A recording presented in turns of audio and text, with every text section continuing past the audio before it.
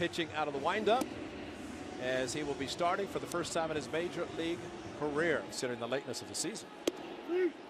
Strike three call. Rasmus knew it. And a curveball.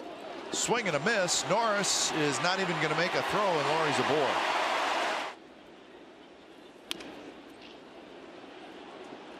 Slowly hit. Side retired.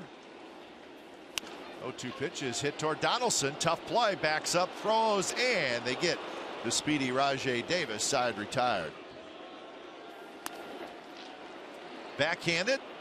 Out at second. Callaspo's throw to first, and that's a double play. Nicely done by Lowrie, Callaspo, and Freiman.